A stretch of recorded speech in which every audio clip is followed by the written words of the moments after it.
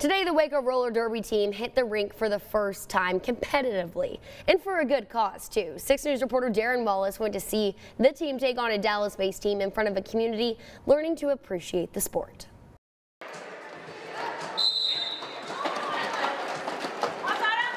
A new sport is rolling into Central Texas. We are playing our very first game ever. We're totally freaking out.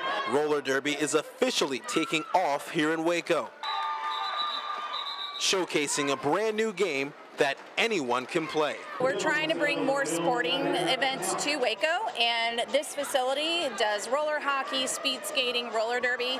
So we're just trying to get that atmosphere and use the facility for something more than roller skating so we can do sports for all ages. Team founder and player Gypsy Lucas says the team is inclusive of players any age, any orientation, as long as they're down for a fun time.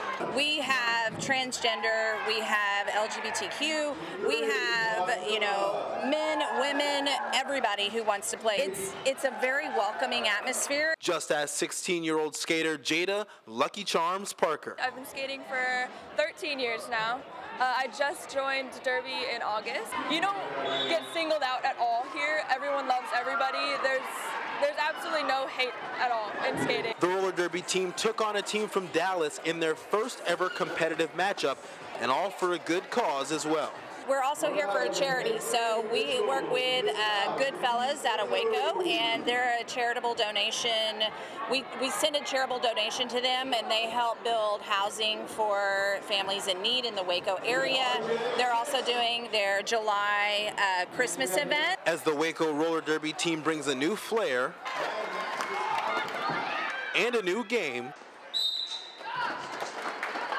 to a constantly growing and changing city. Oh, I always find with roller skating, you never go roller skating without a smile on your face.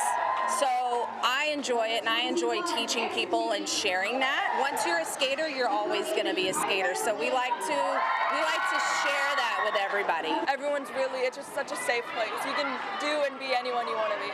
Reporting in Waco, I'm Darren Wallace, 6 News. Wow.